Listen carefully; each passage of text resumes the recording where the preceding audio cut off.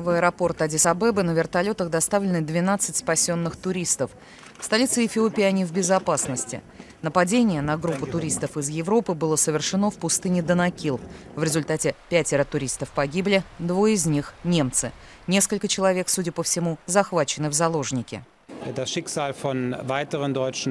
Судьба остальных немецких граждан пока неизвестна.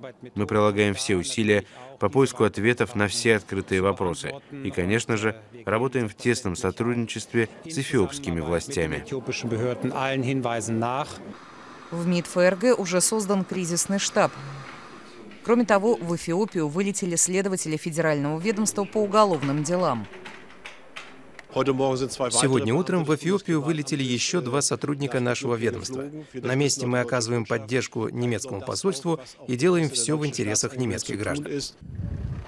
МИД Германии в последние годы уже неоднократно предостерегал граждан от поездок в северо-восточную часть Эфиопии, где сохраняется повышенная степень риска.